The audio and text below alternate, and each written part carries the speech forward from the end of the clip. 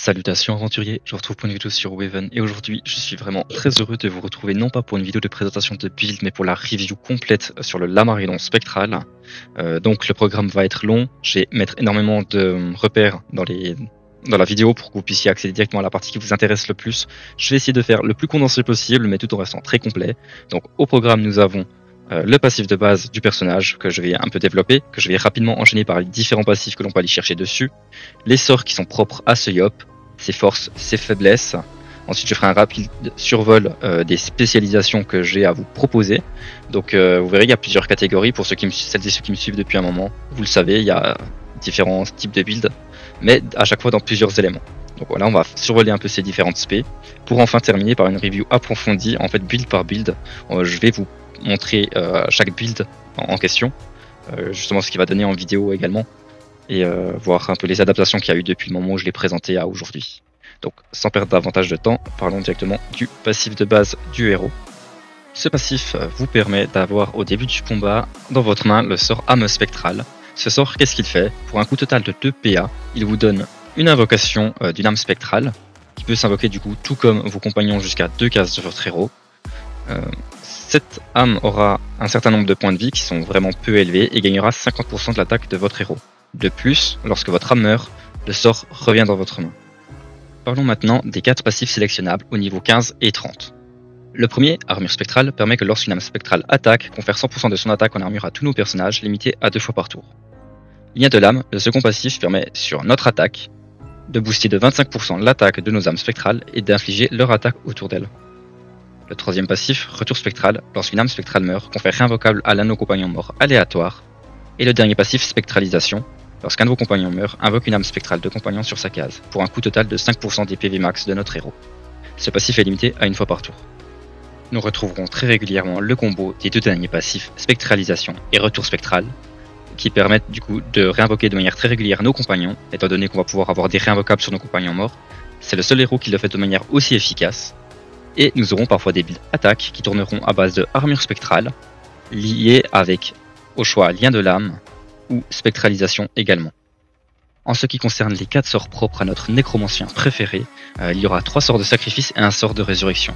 Le premier sort, désigné volontaire, coûtera 1 point d'action et donnera une jauge terre. Il permet de sacrifier un allié et de donner à notre héros 100% de l'attaque de la cible en armure. Requiem est le second sort qui permet de rendre tous nos compagnons morts réinvocables. Cependant, ce sort est détruit lorsqu'il est joué. Enfin, nous aurons Chant du Signe qui boostera 100% d'attaque à un allié qui mourra à la fin du tour. Ce sort coûte 0 points d'action, c'est tout simplement phénoménal. Et le dernier sort, Sacrifice Spectral, pour 4 points d'action donnera une jauge terre et sacrifiera un allié. Cependant, la condition est qu'il faut qu'il y ait un ennemi à côté de cet allié pour pouvoir infliger 200% de l'attaque de notre héros à l'adversaire en question. Concernant les sorts élémentaires, le sort feu Brûlure spectrale offre deux jauges pour un coût total de 6 points d'action. Il permet de téléporter une arme spectrale sur une case autour de notre héros et d'infliger des dégâts autour de celle-ci. De plus, sur un coup critique, il offre plus 25% d'attaque à notre héros pour le tour. Prise spectrale est le sort R. Il permet d'infliger des dégâts autour de notre héros et d'échanger sa position avec celle d'une arme spectrale. De plus, sur un coup critique, il inflige 50% de l'attaque de l'arme spectrale autour des adversaires autour d'elle. Le sortir, attaque spectrale, permet de sacrifier une arme spectrale alliée et d'infliger des dégâts à tous les ennemis alignés à elle. De plus, sur un coup critique, il offre un bouclier à notre héros. Enfin, onde spectrale, le sort haut, permet de sacrifier une arme spectrale alliée pour infliger des dégâts à un adversaire euh, ciblé. Et sur effet critique, il offre moins un point d'action au coup de notre prochain sort d'âme spectrale lancé. Parlons maintenant des spécialisations avant de nous lancer dans les builds spécifiquement. Ici, quatre spécialisations vont être présentées. La première sera la spécialisation compagnon, vous offrant quatre builds mono-éléments. Euh, donc, chacun aura ses avantages, ses inconvénients que je développerai justement dans la partie build approfondie. La seconde spécialisation, tout comme la première, offrira quatre builds différents, chacune en mono-élément. Euh, ce seront des builds éclats. Voilà, donc qu'est-ce que sont les éclats? Ce sont des flammes, des foudres, des pluies ainsi que des rochers qui seront générés lorsqu'on va gagner des euh, jauges ou lorsqu'on va invoquer des compagnons. L'idée sera donc d'offrir des éclats qui nous soignent, afin de pouvoir offrir non seulement des bons dégâts de zone, mais également une très haute survivabilité aux héros. Enfin, les deux derniers builds ne proposeront non pas 4, mais seulement 2 builds. Le premier sera euh, magique ou critique, avec un élément terre et un élément eau. Terre offrant de la tourbe et donc de l'armure à tous nos personnages, tandis que l'élément eau nous offrira du soin à notre héros. ce qui nous permettra du coup, dans les deux cas, d'avoir une très bonne survivabilité. Et enfin, la dernière spécialisation est la spécialisation attaque. Ici, il y aura du coup deux builds, le build multi-âme, qui vous permettra d'avoir entre 4 et 5 âmes sur le terrain à peu près, et le build mono-âme, qui vous offrira seulement une âme, mais offrira également des dégâts de zone conséquents et une très bonne génération d'armure. Enfin, la génération d'armure sera bonne dans les deux cas. Concernant les forces et les faiblesses du héros, donc comme vous l'aurez compris justement dans la partie spécialisation, euh, le héros aura beaucoup de survivabilité de manière globale, que ce soit via euh, les builds magie où il va du coup pouvoir générer énormément d'armure ou de points de vie, les builds d'armure en attaque ou les builds d'éclat. Le personnage va avoir beaucoup beaucoup euh, de sources de soins et de survie. De plus, comme il offre beaucoup de réinvocations, en fait, les compagnons vont très facilement prendre l'aggro, ce qui va faire encore une fois de plus faciliter la, la, survie en fait du personnage. Cependant, dans les faiblesses notables du héros, il faut bien noter que le héros est lent à mettre en place. Très souvent, il faudra beaucoup de tours de jeu avant qu'il devienne utile. Euh, ces tours, voilà, petit spoiler, peuvent être un petit peu réduits grâce au build magique ou critique, qui peut permettre d'accélérer un petit peu justement la vitesse du héros. Ce sont donc des builds que je recommande pour le multi, mais tout ça, on le verra plus en détail dans la partie build. Voilà, donc force du héros, grosse survie, euh, généralement bonne gestion d'aggro, et euh, faiblesse lent à mettre en place. Voilà, c'est peut-être la seule chose vraiment que je vois qui est négative sur le personnage à l'heure actuelle. Et euh, voilà, ça, complique un petit peu le multijoueur. Du coup, forcément, un build lent, c'est un build qu'on ne veut pas en multi. Donc, pour les gens qui aiment jouer cette classe, voilà, je vous recommande sans aucun doute les builds magie ou critique. Pour le tout premier build de cette vidéo, je vous propose le build compagnon mono haut et ici nous retrouverons les passifs spectralisation et retour spectral permettant une réinvocation stable de nos compagnons. Nous investirons tous les points en vitalité. Du côté des items, l'anneau olympique permettra de booster efficacement l'attaque de nos compagnons au fur et à mesure des jauges générées durant le combat. La Nostradamus permettra d'offrir 110% de l'attaque de nos compagnons en armure à notre héros lorsque ceux-ci apparaissent, tandis que les deux derniers anneaux, l'anneau Roméo et l'anneau T, permettront de donner des jauges éther et eau à la mort de nos compagnons. Du côté du brassard, j'ai opté pour le brassard spirituel qui permet de téléporter l'un de nos compagnons sur une case adjacente à la cible de notre attaque pour déclencher 50% de son attaque. De plus, ce n'est pas la seule partie intéressante du brassard étant donné que le brassard permet également de déclencher l'effet euh, lié à l'attaque du compagnon. Vous verrez qu'ici on a 3 compagnons sur 4 qui ont des effets intéressants sur leur attaque, donc c'est vraiment hyper efficace de jouer avec le brassard spirituel. Cependant, pas d'inquiétude si vous débutez dans le jeu où votre brassard spirituel n'est pas monté, remplacez-le par le brassard de l'âme pluvieuse qui est tout à fait efficace également, j'ai d'ailleurs joué cette variante pendant très longtemps. Du côté des compagnons, j'ai opté pour Sally, qui permet de générer des jauges hauts sur son attaque, et Cadence, qui permet d'offrir le sort Activation de compagnon. Ce sort permet de rejouer n'importe quel compagnon, euh, donc c'est un sort qui apparaît à l'apparition de Cadence. Voilà, donc Cadence, on va essayer de la faire mourir régulièrement pour récupérer cette activation de compagnon le plus possible. Au début du combat, on l'utilisera sur Sally pour générer un maximum de jauges et booster du coup l'anneau olympique avec, tout nous permettant d'invoquer plus rapidement nos autres compagnons. Autres compagnons qui sont euh, Héros Impartial et Fairis, qui sont deux compagnons à la fois utilitaires et avec de gros dégâts. Alors, Héros Impartial permet sur son attaque de faire 100% de dégâts supplémentaires s'il possède toute sa vie, ce qui est vraiment super intéressant sur son tour d'invocation. De plus, il possède un passif permettant d'aller générer 3 auras épées de glace à son apparition. Ces auras seront libérées lorsqu'il attaque pour nous offrir un point d'action en réserve. Fairis, euh, sur son attaque, offrira également un point d'action en réserve. Euh, c'est donc super efficace avec ses deux compagnons étant donné qu'ils nous permettront de générer, de lancer plus de sorts par tour, et donc de générer des jauges plus rapidement, pour pouvoir continuer à invoquer plus rapidement. Ce n'est pas le seul point fort de Fairis, étant donné qu'il c'est également une montagne de points de vie et d'attaque. Le personnage tape très très fort et est très résistant. Et de plus, il offre le sort Souffle de Fairis, qui vous offrira deux jauges et permettra de repositionner un ennemi en échangeant sa place avec Fairis. Du côté des sorts, nous retrouverons trois sorts éthers avec désigné volontaire pour du sacrifice allié. De plus, euh, il permettra de générer 110% de l'attaque de la cible en armure à notre héros, très souvent utilisé sur Fairis, on va pas se mentir, pour avoir un maximum d'armure. Requiem permettra de réinvoquer tous nos compagnons morts durant le combat, cependant le sort est détruit lorsqu'il est joué. Ça peut être efficace si on a dû faire un tour où on a invoqué beaucoup de petits compagnons. Et Algarad, qui permettra de faire de la pioche. Nous irons compléter tout ça avec trois petits sorts, tels que Flot d'Albuera, Vague et Traverse Glacée, ce dernier permettant de se repositionner efficacement pour éviter de prendre trop de dégâts. Et trois gros sorts avec Nouvelle Vague, qui permet sur coup critique de générer une jauge supplémentaire, et Grel d'Albuera qui permettra de soigner le héros impartial dans le cas où il manque quelques points de vie, ce qui permettra de refaire proc son passif. Enfin, Tempête Néchromique coûtera 8 points d'action de base, mais sera réduit à chaque fois que l'on va euh, jouer, enfin invoquer des compagnons. Ce n'est pas rare qu'à la fin d'une partie, il coûte entre 0 et 1 PA. La force de ce build est que justement on va invoquer très rapidement, on va générer énormément de jauge avec euh, nos, deux, nos deux items Anno et Annoté. Euh, de plus, justement, comme je le disais juste avant, et Aéro Impartial nous offrant des points d'action en réserve, on va pouvoir jouer encore plus de sorts par tour pour générer encore plus de jauge. C'est donc un build que je trouve très efficace pour jouer compagnon. Le second build compagnon est le build monotaire dans lequel nous retrouverons les mêmes passifs, spectralisation et retour spectral pour réinvoquer euh, de manière stable nos compagnons, puis nous investirons également tous nos points en vitalité. Du côté des items, c'est sans surprise que l'on retrouvera l'anneau olympique, l'anneau ainsi que l'anneau Roméo. Euh, le premier permettant de booster l'attaque de nos compagnons au fur et à mesure des jauges générées, le second de conférer 110% d'attaque de nos compagnons en armure à notre héros lorsque ceux-ci apparaissent, l'anneau Roméo permettant de générer une jauge terre à la mort de nos compagnons, tandis que le dernier anneau sera l'anneau dur qui générera lui une jauge terre à la mort de nos compagnons.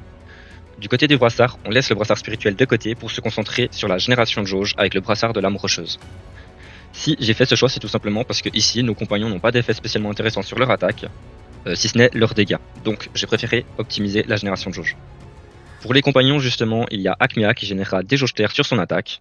Puis euh, nous retrouverons deux gros compagnons. Voilà, je vais d'abord parler des deux gros compagnons, Ruel et Tristepin, qui font partie de la confrérie du Tofu. Cette famille a pour passif, lorsqu'ils apparaissent, de nous offrir une jauge éther, ce qui nous permet d'invoquer encore plus rapidement nos autres compagnons. Ruel est intéressant car il fait des dégâts à deux zones, tandis que Tristepin a énormément d'attaques mono-cibles. En dernier compagnon, vous voyez dans la vidéo que je joue Ashmal, qui me permet de gagner 110% euh, de l'attaque, enfin de son attaque en armure à notre héros lorsqu'il apparaît. Lorsqu'il fait un coup critique, il confère également pas mal d'armure à notre héros. Cependant, c'était un test et je ne vous le recommande pas plus que ça, euh, je pense que vous aurez meilleur temps d'aller chercher au choix Héros Endurci, qui gagne 55% de son attaque en armure sur son attaque, ou Amalia, qui elle aussi fait partie de la confrérie du tofu. De plus, elle vous réduira de 1 point d'action tous les sorts terres de votre main. Du côté des sorts, nous retrouverons 4 sorts cette fois-ci, dont 2 sorts de sacrifice, à savoir désigné volontaire et chant du cygne. Ce dernier sort permettra de booster de 100% l'attaque d'un allié et le tuera à la fin du tour. Nous l'utiliserons généralement sur Tristepin pour faire énormément de dégâts mono-cibles, puis nous le combattrons avec désigné volontaire pour gagner 110% de l'attaque justement de la cible sacrifiée en armure. Cela offrira énormément d'armure à notre héros. Les deux derniers sortaires sont Algarad pour de la pioche et Requiem pour réinvoquer tous nos compagnons morts durant le combat, dans le cas où il y en a plusieurs qui sont morts sur le même tour. Du côté des sortaires, ici, il y aura deux petits sorts avec Bouclier d'Albuera et Heure de Gloire. Puis nous irons sélectionner des gros sorts avec Frappe du Dragon qui permet d'appliquer Boueux, ce qui peut comboter avec le sort offert par Ruel. Ce n'est pas hyper intéressant ici. Vous pouvez également le remplacer si vous le souhaitez euh, par typiquement euh, Choqué qui permet d'assommer la cible pour le tour si jamais vous faites un coup critique. Les deux derniers sorts sont Tourbe d'Albora, tout simplement parce qu'il offre un petit peu d'armure à, tous nos, euh, personnages, et Éboulement Néchromique, qui coûte de base 8 points d'action mais qui verra son coût drastiquement baisser au fur et à mesure que l'on invoque des compagnons. Je ne suis pas, spécialement fan personnellement du build monotaire compagnon, mais il faut être honnête, on va générer énormément d'armure avec ce build. Voilà, c'est pourquoi je peux vous le recommander si vous aimez prendre votre temps et être vraiment très safe. Avant-dernier build compagnon sera le build monofeu, et ici nous retrouverons donc les mêmes passifs avec spectralisation et retour spectral pour une invocation régulière de nos compagnons, et également tous les points investis en vitalité. Du côté des items, c'est sans surprise que l'on retrouvera à nouveau l'anneau olympique, l'anostradamus et l'anneau Romeo, euh, ceci, du coup, j'arrête de vous les présenter maintenant, étant donné que je vous en ai déjà parlé sur les deux builds précédents, mais nous remplacerons du coup le dernier anneau par l'aurore qui générera une jauge feu à la mort de nos compagnons. Le brassard sera ici le brassard de l'âme enflammée pour augmenter la vitesse euh, des générations de jauge du build. Du côté des compagnons, nous optons pour Sentinelle affûtée qui nous offre une jauge haut, euh, une jauge feu sur son attaque. Hilda qui permet à son apparition d'infliger son attaque aux adversaires qui lui sont adjacents. Puis nous retrouverons deux membres de la confrérie du Tofu avec Eleli et Adamai. Eleli possède également un passif intéressant étant donné que lorsqu'elle apparaît, elle gagne 75% de l'attaque de notre héros en attaque supplémentaire si jamais c'est le premier compagnon que l'on invoque. Ça peut être intéressant si jamais on fait des coups critiques et que T2 on a directement 5 jauges de générer. Ça peut être intéressant de la sortir en tout premier compagnon. Autrement c'est un passif que l'on utilisera très très peu, mais elle reste intéressante pour son sort, Petite Furie qui offre plus 100% d'attaque à Eleli pour le tour. Adamai quant à lui touchera tous les adversaires en face de lui lorsqu'il attaque. De plus, son sort Souffle d'Adamai est extrêmement puissant, étant donné que pour 2 PA, il nous donnera une jauge et infligera 100% de son attaque devant lui, donc aux alliés comme aux ennemis, il hein, faut faire attention à ça. Mais ça lui conférera du coup 110% d'attaque, enfin de son attaque en armure pour chaque adversaire touché. Une fois qu'Adamai est sur le terrain, c'est rare qu'il meure.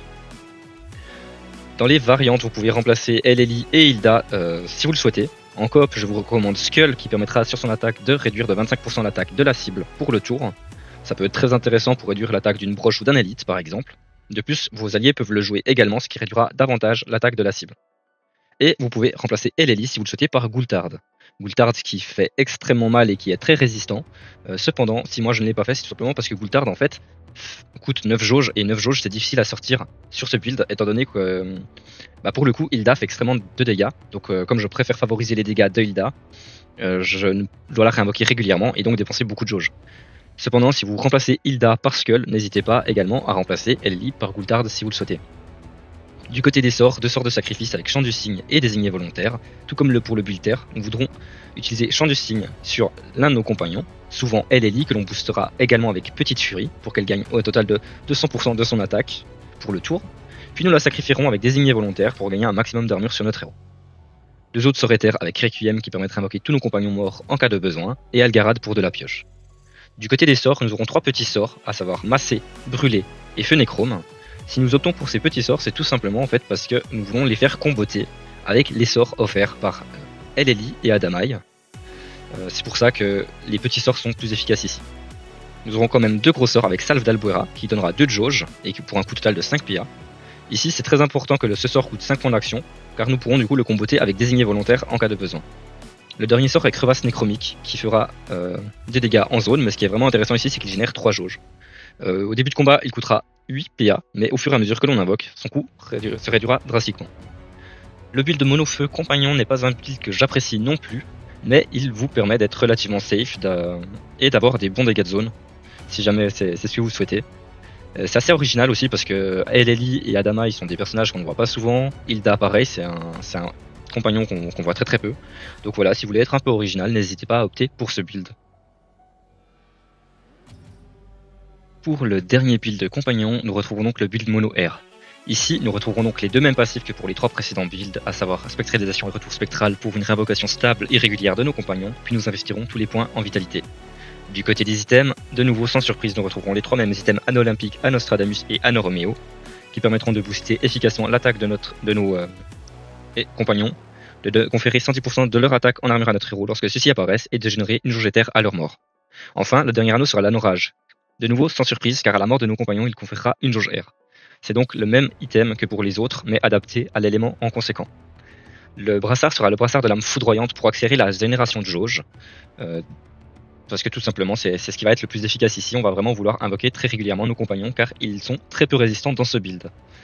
Euh, ce n'est pas pour autant qu'ils ne font pas de dégâts, vous le verrez.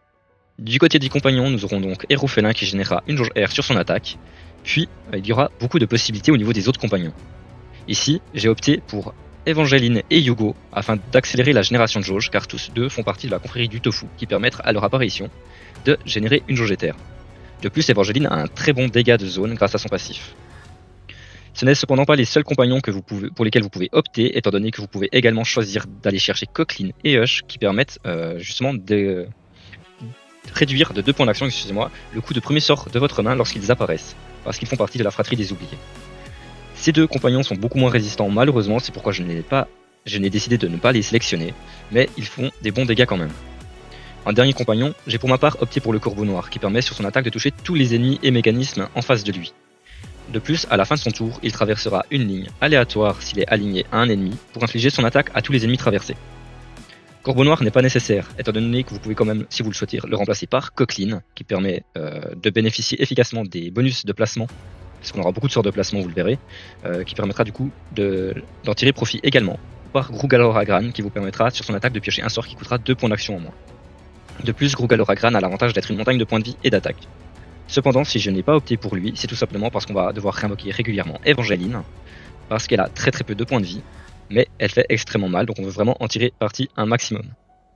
Du côté des sorts, nous aurons donc 3 sorts éthers ici, avec Désigné Volontaire, Requiem et Algarad, un sort de sacrifice, un sort de réinvocation et un sort de pioche.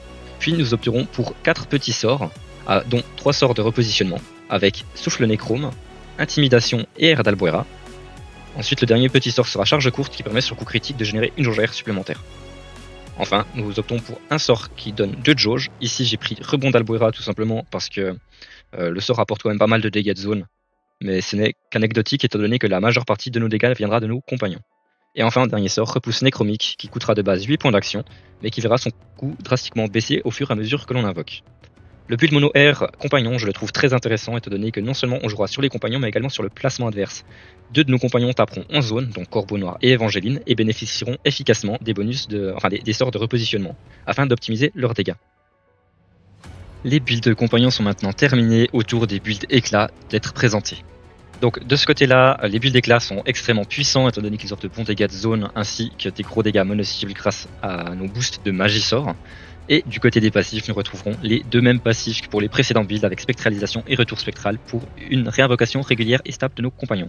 Toutes les stats seront bien entendu investies en vitalité.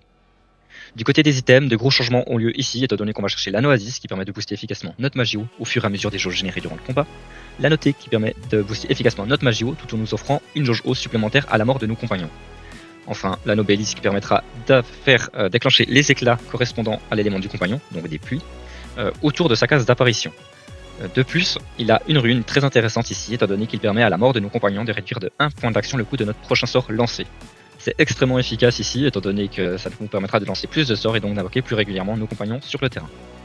De plus, il offre énormément de magie élémentaire, ce qui, le rend vraiment tout à fait essentiel dans ce build. En dernier anneau, l'anneau Stromo permet à nos puits de nous rendre des points de vie, tout en boostant efficacement nos magios.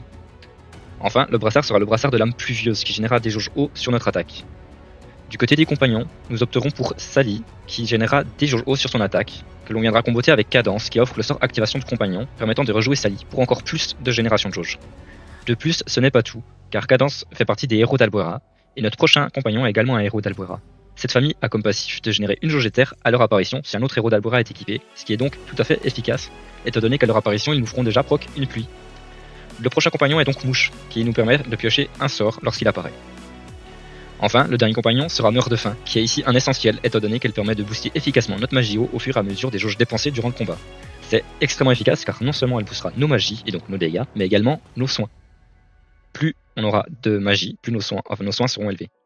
Du côté des sorts, deux sorts éthers avec désigné volontaire en sort de sacrifice et requiem pour invoquer nos compagnons morts. Ce sort sera généralement peu utilisé, mais parfois il y aura des tours où il faudra forcément l'utiliser pour pouvoir réinvoquer un maximum de compagnons. Enfin, nous aurons deux sorts, deux petits sorts avec Flot d'Albuera et Vague Necrome, puis euh, cinq gros sorts qui généreront deux de jauge, avec Grêle d'Albuera, Reflux d'Albuera, Nouvelle Vague qui lui, en cas de coup critique, générera une jauge supplémentaire, et enfin deux sorts qui donneront 3 de jauge avec Onde de choc et Tempête nécromique. Ces deux sorts euh, coûtent de base 8 points d'action mais seront réduits par des effets mêlés pour le premier, plus il y aura d'ennemis autour de notre héros, moins le sort coûtera cher, et Festin pour le second, qui permet de réduire son coût pour chaque jauge dépensée durant le combat. De plus, nous pourrons réduire leur coût très rapidement durant le combat grâce à la Nobelis qui, comme je vous le disais plus tôt, réduit de 1 point d'action le coût de notre prochain sort joué à la mort d'un de nos compagnons. Ces builds sont donc extrêmement efficaces étant donné qu'ils vous offrent beaucoup de survivabilité et des dégâts de zone. Euh, moi je recommande grandement le build pluie étant donné qu'il a l'avantage de bénéficier des, passifs héros d'Albuera pour invoquer encore plus rapidement. Autour du second build éclat d'être présenté le build monotaire. Donc ici, nous bénéficierons des mêmes passifs que pour les précédents builds avec spectralisation et retour spectral pour une invocation rapide et stable de nos compagnons, et nous investirons de nouveau toutes nos stats en vitalité. Du côté des items, la blonde permettra de booster efficacement notre magitaire au fur et à mesure que l'on génère des jauges. La nordure permettra de déclencher des rochers à chaque fois qu'on génère des jauges terre ou éther, tout en offrant une jauge terre à la mort de nos compagnons et en boostant efficacement notre magitaire.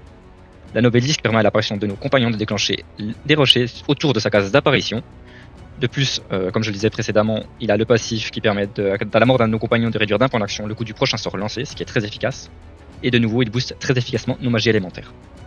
En dernier item, ici vous avez le choix, soit vous prenez l'anotaku pour être très safe avec du, avec du soin sur les rochers, soit comme moi durant la vidéo vous prenez l'anneau cyprès qui permet lorsqu'un compagnon terre attaque de déclencher un rocher sur la cible et des rochers supplémentaires si la cible est sous l'état boueux. Il faut savoir que cela ne consomme pas le boueux. Euh, ici, ça va être beaucoup plus offensif, étant donné qu'il y aura beaucoup plus de dégâts, mais euh, vous verrez, euh, c'est à vous de voir si vous préférez être offensif ou défensif avec ces builds. Il y a d'autres sources de tankiness que je les citerai juste après. En brassard, le brassard de lame rocheuse ici est nécessaire pour optimiser la génération de jauge terre. Du côté des compagnons, nous opterons pour Akmea qui permet sur son attaque de générer des jauges terre, Griffer Tonkino qui permettra d'appliquer boueux sur son attaque, tandis que Marcus permettra de consommer ce boueux pour générer de la tourbe.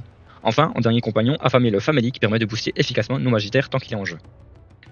Du côté des sorts, nous aurons ici trois sorts éthers avec deux sorts de sacrifice, champ de signe et désigné volontaire, ainsi que Requiem pour rendre tous nos compagnons morts réinvocables dans le cas où on en aurait besoin. Ensuite, du côté des sorts, nous aurons que des gros sorts ici, avec butoir, choqué, sable d'Albuera, tourbe d'Albuera, fracturation rocheuse et éboulement néchromique. Fracturation rocheuse coûte 7 points d'action et nous n'avons aucun moyen de mettre des points d'action de côté dans le build, mais pas d'inquiétude, nous pourrons lancer ce sort grâce à l'anobélisque. Euh, donc je disais avant, nous avons des moyens de tanker dans le build, donc comme vous l'avez vu, Marcus permet de générer de la tourbe et comme on le combat avec Griffer Tonkino qui applique boueux, cela va être très efficace pour générer de l'armure. Euh, ce qui est très avantageux, comme on intègre Griffer Tonkino dans le build, en fait, c'est qu'on va pouvoir faire attaquer différents compagnons sur la cible attaquée par Griffer Tonkino, ce qui va donc permettre de générer beaucoup de rochers et donc de faire beaucoup de dégâts mono-cibles sur, euh, la cible en question. Puis à la fin du tour, nous consommerons cet état avec Marcus pour booster la survie de toute l'équipe. C'est un build qui est très safe, euh, voilà, comme tous les builds terre généralement. On est ici sur un build vraiment très safe avec beaucoup de génération d'armure. Donc c'est pour ça que j'ai opté pour l'anneau cyprès de mon côté plutôt que l'anneau Taku, tout simplement pour essayer d'accélérer un petit peu le combat étant donné qu'ils ont tendance à être un petit peu lents dans ce genre de situation. Pour ce troisième build d'éclat, nous retrouverons donc le build de flamme. Ici, euh, nous retrouverons donc les deux mêmes passifs que pour les précédents builds avec spectralisation et retour spectral qui permettent une invocation stable de nos compagnons, et nous investirons de nouveau tous nos points en vitalité. Du côté des items, rien de surprenant, étant donné qu'on va retrouver l'anopéra pour booster notre magie feu au fur et à mesure des jauges euh, générées durant le combat, l'anourore qui permettra de déclencher des flammes lorsqu'on génère des jauges feu, des jauges pardon, feu ou éther. De plus, il nous offrira une jauge feu à la mort de nos compagnons, tout en boostant efficacement nos magies feu. L'anobélisque, lui, permettra de déclencher des flammes autour des cases d'invocation des compagnons, tout en réduisant d'un point d'action le coût du prochain sort lancé après la mort d'un compagnon. Ce passif, je n'ai pas dit jusque-là, est stackable, c'est-à-dire que si vous avez deux compagnons qui meurent sur le même tour, votre prochain sort lancé coûte 2 points d'action en moins. En dernier anneau, l'anoroscope permettra à vos flammes de vous rendre des points de vie, ce qui sera très efficace pour vous faire résister ici. En brassard, le brassard de lame enflammée générera des jauges supplémentaires pour pouvoir invoquer plus rapidement. Pour les compagnons, nous retrouvons donc sans surprise Sentinelle affûtée qui permettra sur son attaque de générer des jauges feu. Ensuite, euh, Crève la faim permettra de booster efficacement notre magie feu au, fur et à mesure des jauges dépensées durant le combat. Excusez-moi pour ce petit bug mental. Et enfin, en deux derniers compagnons, à vous de voir ce que vous préférez. Vous, pouvez opter pour Baccara et Julite, qui font toutes deux parties de la bande à c'est-à-dire qu'elles apparaissent sur le terrain avec 30% de leur vie max en armure. De plus, Baccara réduira d'un point d'action le coût de vos sorts feu, tandis que Julite vous permettra, lorsque vous tuez un adversaire de quelque manière qu'il soit, de vous faire piocher deux sorts qui coûtent moins un point d'action. Ou alors, l'autre combo que vous pouvez tout à fait choisir, c'est Igror, qui permettra d'appliquer huilé sur son attaque, et Chuchette, qui consommera ce huilé pour faire une explosion. Ce qui fait beaucoup de dégâts ici. Si vous optez pour ça, vous le verrez. Du côté des sorts, euh, ah d'ailleurs, petit avantage qu'il y a avec ce, deuxième combo de compagnons, c'est tout simplement qu'il coûte moins cher à invoquer, donc vous pourrez les sortir plus facilement sur le terrain. Du côté des sorts, il y a donc deux sorts éthers que l'on va retrouver avec désigné volontaire pour un sacrifice de compagnon et requiem pour rendre tous nos compagnons morts réinvocables. Et enfin, deux petits sorts avec massé et brûlé puis des gros sorts avec beaucoup de dégâts, idéalement avec explosion brutale, explosion d'Albora, phare d'Albora, fondre l'âme et crevasse néchromique, qui voit son coût de base euh, à 8 points d'action se faire réduire pour chaque jauge dépensée durant le combat. Le build monofeu est pour moi le build d'éclat euh, que je préfère, tout simplement. Je trouve qu'il a énormément de dégâts, une très bonne survie. il est vraiment très agréable à jouer. Je ne peux que vous le recommander ici. Pour ce dernier build d'éclat, le build foudre. Ici, nous allons chercher les mêmes passifs que pour les précédents builds avec spectralisation et retour spectral pour une invocation rapide et stable de nos compagnons, puis nous investirons tous nos points, euh, tout dans points de vie. Du côté des items, c'est sans surprise que nous retrouverons l'anneau fusqué qui permettra de booster efficacement notre magie air au fur et à mesure des jauges générées, l'anneau rage qui permettra de générer des foudres lorsqu'on gagne des jauges air ou éther. De plus, il nous permettra de bien booster nos magies air tout en nous offrant une jauge air à la mort de nos compagnons. L'anneau qui permettra de générer des foudres autour des cases d'apparition de nos compagnons, tout en réduisant d'un point d'action le coût de notre prochain sort lancé à la mort de ceux-ci. Euh, l'item a comme avantage de nous offrir également beaucoup de bonus en magie élémentaire, ce qui nous offrira de gros dégâts. Enfin, la horizon permettra à nos foudres de nous rendre de la santé, ce qui nous offrira une grosse survivabilité. Pour le brassard, le brassard de l'âme foudroyante est ici un nécessaire pour accélérer la génération de jauge. Du côté des compagnons, nous optons pour Félin pour générer des jauges air sur son attaque, Clac fin qui permet de booster notre magie air au fur et à mesure des jauges dépensées durant le combat, et enfin le combo Hush et Coqueline qui font tous deux partie de la fratrie des oubliés. Hush permettant de réduire d'un point d'action le coût de nos sorts R, tandis que Coqueline est surtout là pour le passif Fratrie des Oubliés, mais offrira tout de même quelques dégâts sympathiques, ainsi euh, qu'un sort qui est très puissant, à savoir Toucher de Coqueline, qui transforme la cible en tofu pour le tour. Du côté des sorts, nous aurons deux sorts éthers avec Désigné volontaire et Requiem, puis nous jouerons avec deux petits sorts, avec Charge courte qui permet sur coup critique de générer une jauge supplémentaire, et Souffle Néchrome qui permet de repousser la cible d'une case tout en euh, boostant les dégâts de ce sort justement par jauge dépensée, ce qui fait que le sort peut faire extrêmement mal pour seulement 3 points d'action. Ensuite nous opterons pour Brise, Rebond d'Albuera, Tonnerre en série, Rebond brutal et Repousse nécromique en gros sort. De plus, ce dernier permettra... Euh, enfin, verra, pardon, excusez-moi, oh là là là, ça, devient terrible, ça devient terrible, euh, permettra du coup, au fur et à mesure que l'on dépense des jauges, de voir son coût réduit. Ce n'est pas rare que justement en fin de combat, il coûte entre 0 et 1 point d'action. Le build mono R est assez efficace, ce n'est pas mon préféré, mais il permet de très gros dégâts en cas de coup critique des. Donc ça peut être vraiment intéressant ici de, le jouer, si jamais vous voulez accélérer un combat. Place maintenant aux builds magie coup critique qui sont pour moi les builds les plus intéressants à jouer en multijoueur. Donc je commence avec le build mono O. Ici les passifs ne changent pas, hein. aussi étonnant que cela puisse paraître, on va jouer avec spectralisation et retour spectral qui permettent une invocation stable et régulière de nos compagnons. Aucun sort éther ne sera sélectionné cependant et toutes les stats seront toujours en point de vie. Du côté des items, l'anoasis est ici pour booster efficacement notre magie au fur et à mesure des jauges générées. La notée permettra de générer des pluies lorsqu'on génère des jauges, mais sera surtout là pour le passif, qui permet qu'à la mort d'un de nos compagnons donne une jauge eau supplémentaire.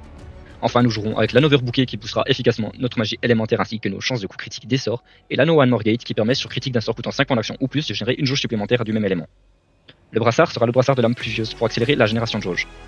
Du côté des compagnons, nous aurons donc Sally qui permet de générer une jauge eau sur son attaque, Meurtre de faim qui permettra de booster efficacement notre magie tant qu'elle est en jeu, Bump et Arbour qui font tous deux partie de la fratrie des oubliés seront là pour euh, majoritairement bah, le passif de la fratrie des oubliés.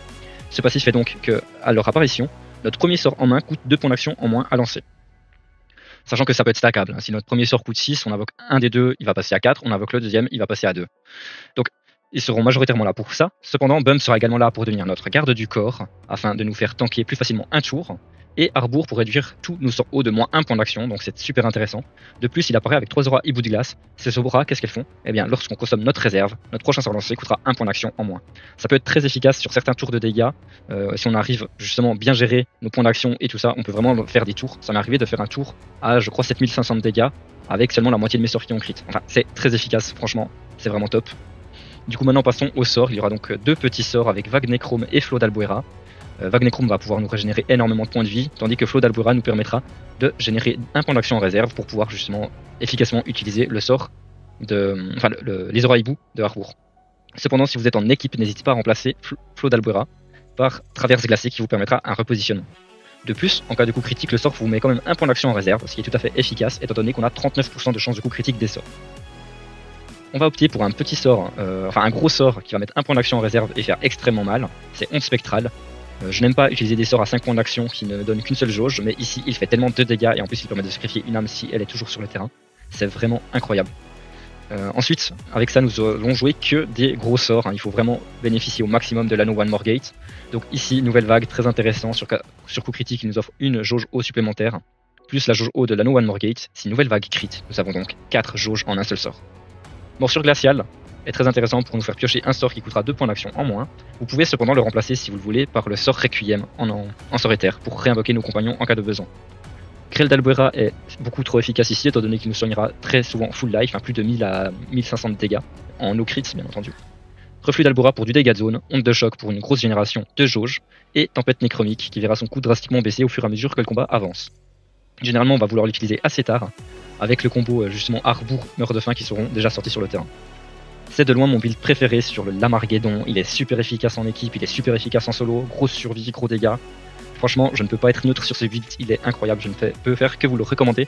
Cependant, c'est possible qu'il ait un petit côté frustrant, voilà, 39% de chance de coup critique, un build qui repose sur les coups critiques. Si vous faites des combats où il n'y a aucun crit qui, se fait, petite frustration, petit pincement au cœur. Mais il y a aussi du coup, à contrario, les builds où, enfin les, les combats où vous n'aurez que des crits, et là, c'est juste un pur délice de jouer ce build. Le second build de ou critique est le build monotaire. Ici nous retrouverons donc les mêmes passifs, sans surprise avec spectralisation et retour spectral pour une invocation stable des compagnons, et nous investirons tous nos points en vitalité.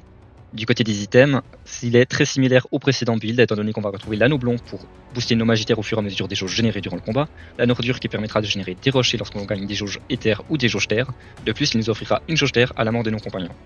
Nous remplacerons ici l'anneau bouquet par l'anneau lélé, nous perdons 1% de chance de coup critique, nous passons donc à 38% de chance de coup critique au lieu de 39. Cependant, nous gagnons 10% de dégâts à nos sorts élémentaires lorsqu'on déclenche une quintessence, et cela pour un maximum de 5 fois par combat. On va donc gratter un bon gros 50% de dégâts élémentaires. Vous verrez ici, on a euh, énormément de génération de, quintessence, donc la tourbe en l'occurrence. Et l'anneau One More Gate, critique d'un sort coûtant 5 points d'action ou plus, plus une jauge du même élément. Pour le brassard, le brassard de lame rocheuse est ici un nécessaire. Du côté des compagnons, nous optons pour Acmea qui nous donne des jauges terre euh, lorsqu'elle attaque. Griffer Tonkino et Marcus qui sont un combo très connu qui permettent d'appliquer boueux pour le premier et de consommer boueux pour le second afin de générer de la tourbe à toute l'équipe, enfin à tous nos, personnages. Et enfin, Affamé le Famédic qui permet euh, de booster notre magitaire au fur et à mesure que l'on dépense des jauges durant le combat. Du côté des sorts, nous allons donc retrouver un sort de sacrifice avec désigné volontaire, puis nous allons jouer avec euh, des sorts plutôt coûteux, avec butoir, choqué, charge longue, frappe du dragon, sable d'Albuera, tourbe d'Albuera et éboulement néchromique. Euh, vous pouvez bien entendu, si vous le souhaitez, remplacer euh, le sort charge longue. Charge longue, donc il coûte 6 points d'action euh, pour donner seulement une jauge. Donc c'est dur, hein, ça, fait, mal, mais le sort fait beaucoup de dégâts. c'est pour ça que moi je l'ai mis. Mais comme il donne que une jauge, vous pouvez le remplacer si vous le souhaitez par un second sort de sacrifice avec Chant du Cygne par exemple. Ici, on veut pouvoir sacrifier nos compagnons de manière assez efficace, euh, car on va générer beaucoup de tourbes. Et si nos compagnons ont trop de tourbes, ben, ben, on ne pourra plus générer de rochers et on aura donc une source de dégâts de perdu. On va compléter tout ça avec un petit sort, bouclier d'Albuera, voilà, pour nous donner un bouclier. Généralement, ça nous permet juste de tanker euh, la mort d'un de nos compagnons. Mais euh, c'est aussi efficace bah, pour pouvoir le comboter avec notre passif âme spectrale, la lame de base, qui nous permettra du coup de réinvoquer plus facilement derrière. Donc voilà, je vous disais, vous pouviez opter pour euh, Chant du Cygne pour du sacrifice, mais également pour Requiem, même si généralement sur ce build-ci, il, est moins efficace étant donné que nos compagnons seront plus résistants. C'est un build que je trouve personnellement très agréable en coop. Voilà, je n'aime pas du tout le jouer en solo, tout simplement parce que je le trouve lent et en cas de non critique, le build ne fait vraiment euh, n'est pas assez efficace selon moi. Euh, cependant, c'est un build vraiment très très safe. Donc voilà, que ce soit en solo ou en équipe, vous êtes très safe avec ce build. Et l'avantage qu'il a en équipe, en fait, c'est que le combo de Griffer Tonkino et Marcus. Vous pouvez l'utiliser euh, à votre tour pour que ça vous génère de l'armure sur vous. Mais vos alliés peuvent également l'utiliser sur leur tour de jeu. Et euh, lorsqu'ils les utilisent, c'est basé sur votre magie à vous. Et donc vous pouvez générer énormément de tourbes à toute votre équipe, que ce soit vos compagnons ou euh, l'équipe, enfin les personnages de vos, de vos mates. Donc très efficace en coop, aucun, aucun truc à dire là-dessus. Pour les deux derniers builds que j'ai à vous proposer, ce sont des builds attaque et enfin les passifs vont changer. En effet, ici, vous allez retrouver les passifs armure spectrale lorsqu'une arme spectrale attaque, confère 140% de son attaque en armure à vos personnages, et spectralisation, lorsqu'un de vos compagnons meurt, invoque une arme spectrale de compagnon sur sa case. Euh, donc ça, ça va être le premier build, le build multi-âme. Vous aurez donc beaucoup d'âmes sur le terrain. Euh, avec ça, nous allons chercher les items Anoscillation et Anolive, un combo bien connu, Le premier item permettant de gagner 25% d'attaque à notre héros tant qu'il possède de l'armure, et le second, lorsque vous lancez un sort, votre héros gagne 21% de son attaque en armure. Avec ça, nous jouerons l'index de Tauros qui permettra de booster notre attaque au fur et à mesure que l'on dépense des jauges, et l'anneau Romeo qui permet à la mort d'un de nos compagnons de nous générer une jauge éther. Avec tout ça, le brassard de l'âme pluvieuse pour accélérer l'invocation de nos compagnons, car vous verrez, ce sont des compagnons hauts. Donc parlons de ces compagnons, ici nous aurons Sally, sur son attaque permet de générer une jauge haut, Cadence qui nous offre le sort activation de compagnon. En plus, elle bénéficiera du passif héros d'Albora qui permet à son apparition de nous donner une jauge éther. Car un autre héros d'Albora est équipé, il s'agit de Mouche qui nous fera piocher un sort. On fait bien attention avec euh, ce build de ne pas invoquer nos compagnons hauts avec les jauges éthers, ce serait un grave euh, désavantage étant donné que ces jauges éthers serviront à invoquer Tauros Mordal, notre dernier compagnon. Que fait Tauros? Tauros va booster jusqu'à un maximum de plus 100% d'attaque tous nos personnages tant qu'il est en jeu. L'idée va donc être d'invoquer les trois premiers compagnons, les faire mourir pour gagner des jauges et bénéficier en plus des, des jauges offerts par les héros d'Albuera. Avec ça, nous irons utiliser un Requiem que nous piocherons forcément grâce à Mouche, ou au tour après Mouche, et ça nous offrira les 6 jauges nécessaires pour invoquer Tauros Mordal. Puis nous invoquerons notre âme spectrale et nous commencerons à régénérer énormément d'armure. C'est un build qui a donc besoin de quelques tours de jeu pour se mettre en place. Du côté des sorts, nous aurons donc 4 sorts hauts avec Flot d'Albuera, Nouvelle Vague, Morsure Glaciale et Tempête Néchromique. Puis des sorts euh, que, des sorts euh, éthers avec 3 sorts de sacrifice, désigné volontaire, Chant du Cygne et Sacrifice Spectral. Et enfin un sort de pioche avec Algarad et le fameux Requiem que nous aurons besoin nécessairement ici, étant donné que nos compagnons ne seraient pas réinvocables autrement. Build que moi je n'aime pas spécialement jouer, euh, tout simplement parce que je trouve que si les âmes meurent, on perd beaucoup de dégâts très facilement. Et ces âmes, bah, justement, comme elles proviennent de nos compagnons, il faut faire très attention à ça. Les, trois premières âmes de compagnons, généralement, ne seront pas, euh, ne, seront pas en vie, étant donné qu'elles vont mourir très rapidement, très peu d'attaques en début de combat, donc très peu de génération d'armure. C'est à partir du moment où on aura invoqué Tauros Mordal sur le terrain que nos âmes commenceront à survivre.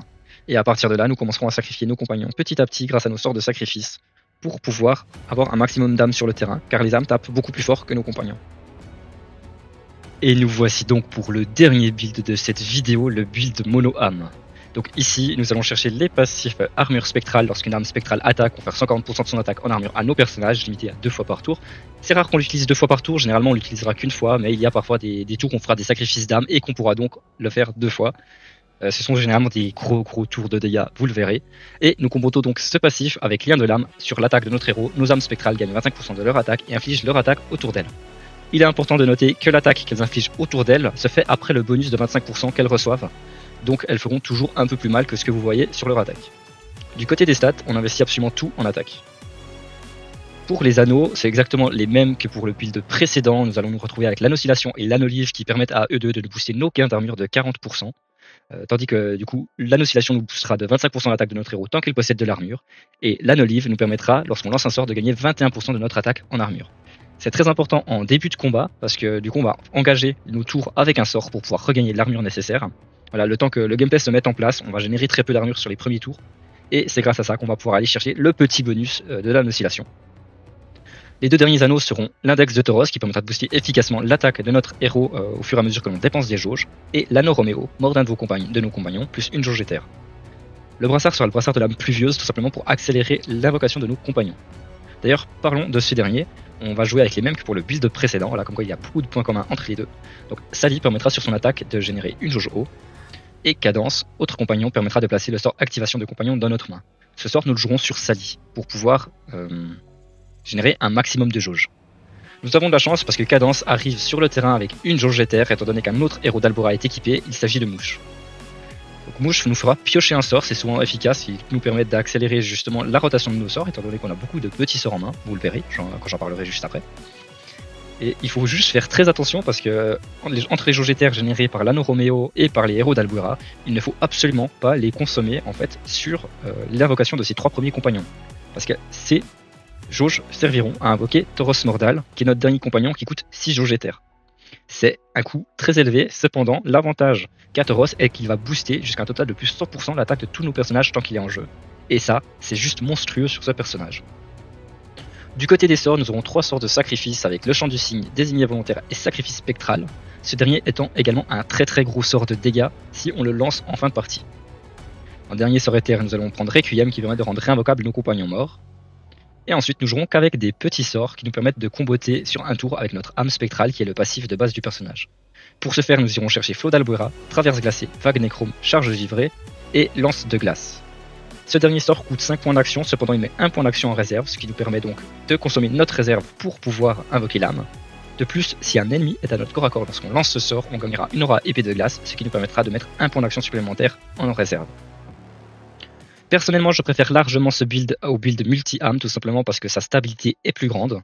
Euh, c'est-à-dire que si nos âmes spectrales meurent, eh ben, on peut tout simplement les réinvoquer. Ici, la seule âme spectrale qu'on aura sur le terrain est celle de notre passif de base, donc lorsqu'elle meurt, elle revient dans notre main.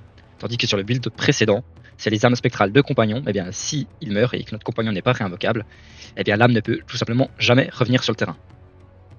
Donc moi je préfère ce build avec les dégâts de zone. Cependant il faut aussi savoir qu'il peut mettre un ou deux tours de plus à se mettre en place étant donné qu'on va générer un petit peu moins de jauge ici qu'avec le build précédent. Dans les deux cas ce sont des builds que je ne recommande pas pour faire du multijoueur étant donné que c'est des builds attaque donc on aura un pool HP très faible.